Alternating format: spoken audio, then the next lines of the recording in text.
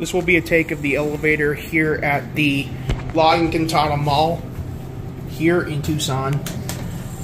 This is an 8K take of the elevator since um, this is my new phone. Bump. Turning my light on might work a little bit.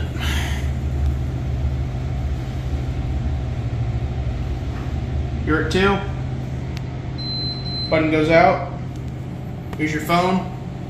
3,500 pounds capacity. Go down to one.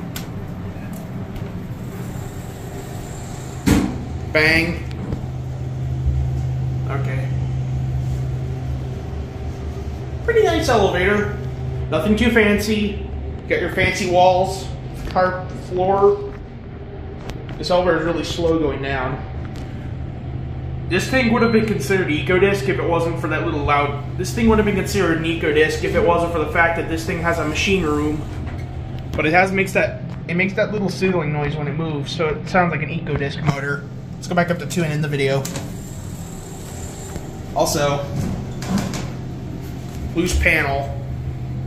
That is a loose panel right here. Well done, La Encantada. You have a loose panel on your elevator.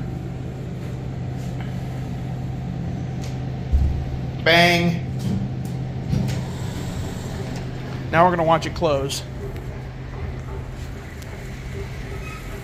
There it goes, and oh, it didn't bang, it was just making that loud noise, that's it.